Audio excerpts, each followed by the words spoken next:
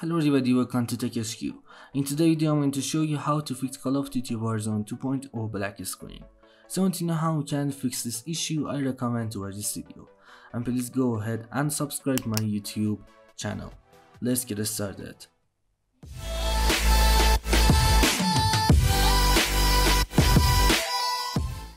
Okay guys, to fix Warzone 2.0 black screen, first of all just go ahead and open up your game launcher, like Battle.net or Steam. Then click on options on right over here and then click on scan and repair.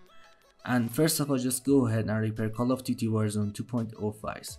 Then click on game settings from here and then just go ahead and check this option, additional command line arguments.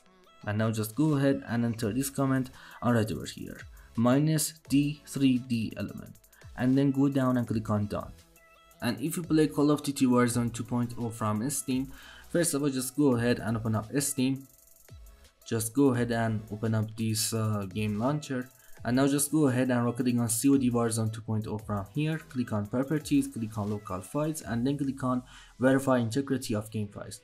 And first of all just go ahead and verify your game files, then click on general from here and now just go ahead and enter this comment on launch options minus D3D11.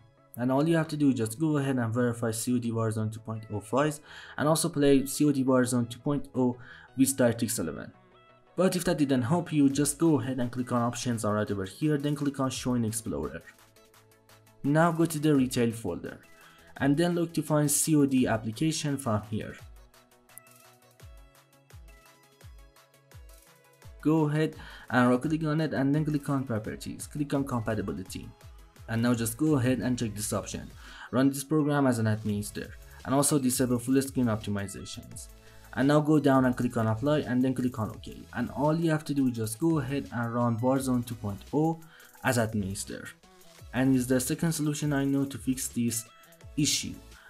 And now guys if you did all of these methods and all of them didn't work uh, just go ahead and update your graphic card driver. To update your graphic card driver if you have an nvidia graphic card just go ahead and download geforce experience. Then open up geforce experience click on drivers tab and then you should be able to update your graphic card driver from here and if you have an intel or amd graphic card just go ahead and search on your uh, google chrome or on your web browser. Go to the intel or amd website and then you should be able to update your graphic card driver. And also guys make sure to update your windows. To update your windows just go down on your desktop and just go ahead and type check for updates on search box. And then you should be able to update your windows from check for updates from here and is the last solution I know to fix Call of Duty Warzone 2.0 black screen.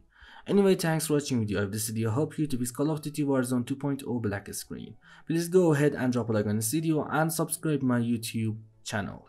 Peace out.